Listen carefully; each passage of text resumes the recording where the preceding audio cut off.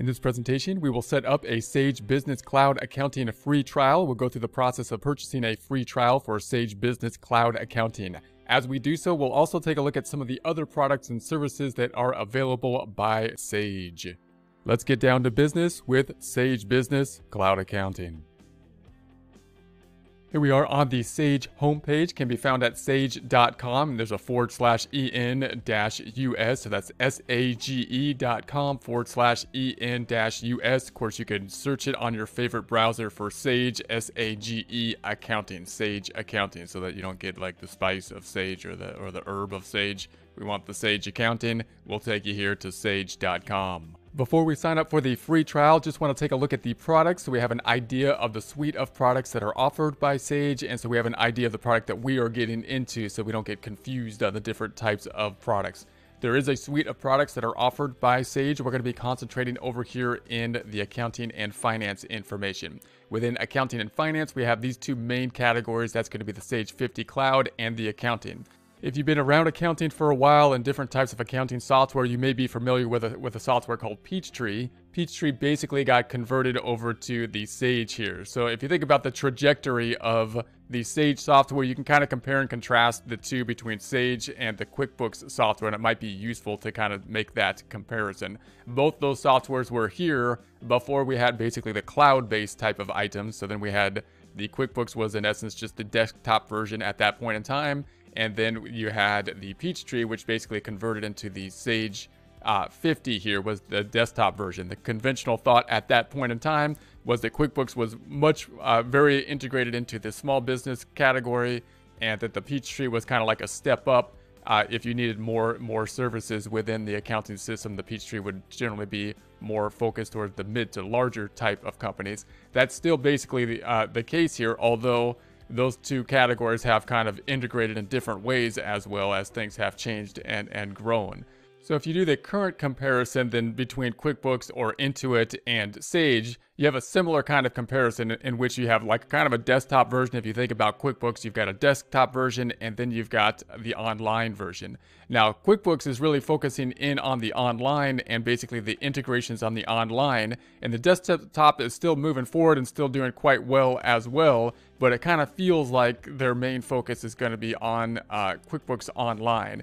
If you think about the Sage, then uh, they have both a similar kind of setup. We have the accounting here, it has the online stuff, but the feel of it is that they're more focused actually on kind of like the desktop version, the Sage 50, because it has more integrations. And of course, the Sage 50 is going to be uh, promoted as having the best of both worlds, basically an online kind of functionality as well as or cloud accounting types of functionality, being able to get access uh, through the through the internet as well as some of the advantages of uh, the desktop version. It's like backing up and, and that kind of stuff as well. So that's kind of the difference in, in the trajectories between the two. Note that it still has a feeling that if you're able to say, you know, you have some experience with Sage, that usually carries a little bit more weight to it because most people that, that deal with Sage, if they've been working in Sage, are thinking of, uh, you know, the reason people have Sage is because it's going to be in an industry that's that's larger possibly and has more specialized needs, such as needs for inventory or job costing or accounting and integrating different type of locations uh, into the accounting system. And so therefore, it could be useful just to have some uh, experience with Sage because to a lot of people, uh, if you hear the word Sage as versus QuickBooks, just in terms of like a resume type of format, uh, it might be something that uh, carries, you know, carries a different kind of weight. Now that that may be that may be fair or not fair because again, QuickBooks is kind of going into the to the mid-sized market as well and doing doing quite well there. So as things integrate and as we th- as we see what happens with the cloud accounting versus the desktop and the different types of integrations, you know, we'll see we'll see what happens. But note that Sage is typically thought of of having more customization.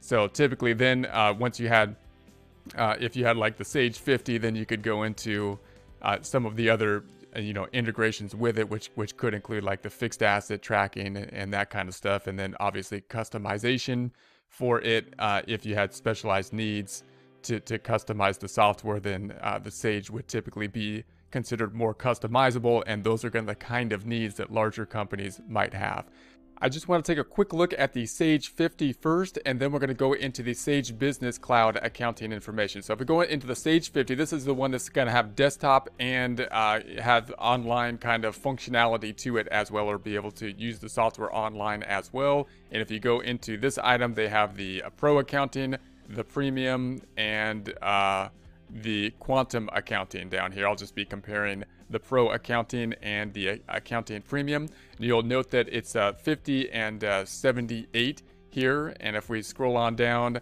to what is included, the account for all revenue, manage uh, expenses, pay bills, uh, effortless invoicing uh, of customers, reconcile financial with your bank, secure remote access for employees and accountants. So that remote access is the attempt to make kind of like a desktop and you know, the online types of, of functionality within the software.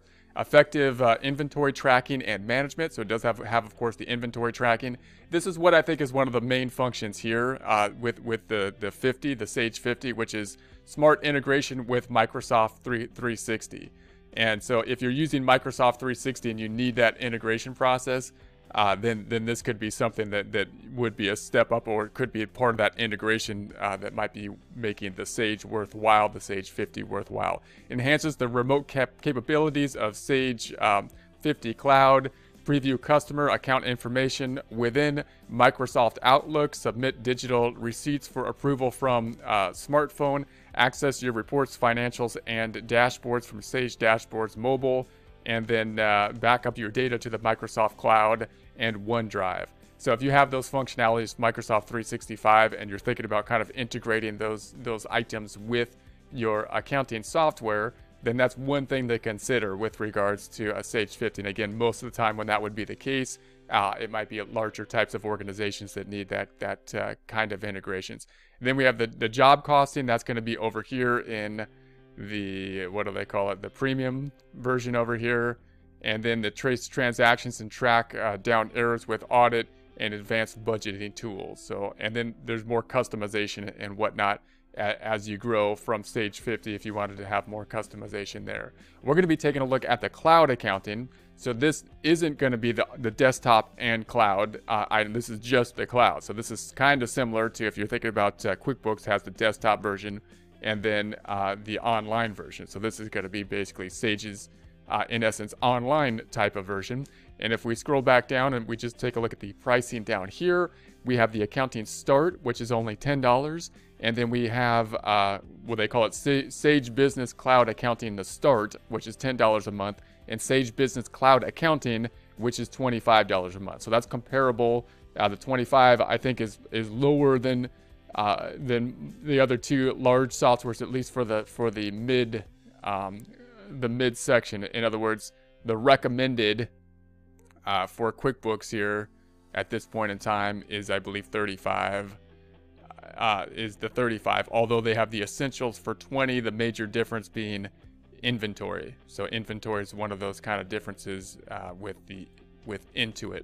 So here, I, I, don't think the $10 one, I, I, don't think will work for most people because it does have the your connection to the banks. You can track everything, but you don't have the reports here. So, so act on real-time reports isn't uh, included, and that's that includes the profit and loss and the balance sheet, uh, which are kind of important. Those are kind of important. So I think you kind of need then, you're probably going to need, if you want this software to make your financial statements help you out with taxes and whatnot, the 25 a month.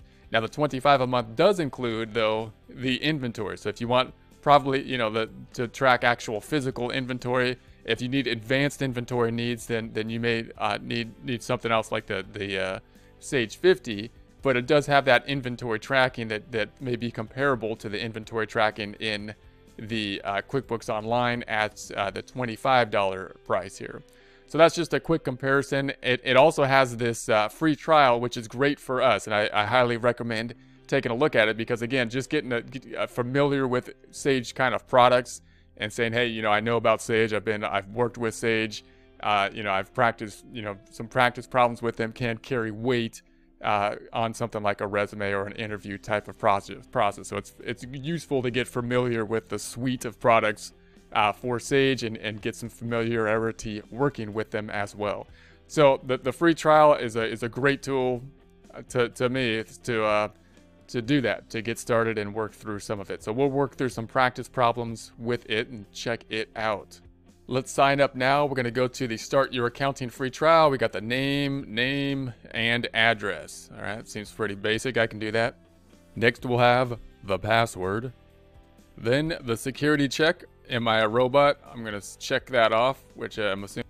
Then we're going to put the business name. This is going to be kind of like the minimal information we'll need that they need in order to start us off with the account. Our business name, if you're following along with the practice problem, is going to be called Get uh, Great Guitars. Get Great Guitars. I'm going to save and continue with that. The address for our practice problem is going to be this uh, 605 Mountain Drive, Beverly Hills, California 90210. Uh, that's actually a home for sale for 69 70 million dollars at this time if you're in the market. I'm going to put the phone number at the 555555555 and then we'll save and continue there.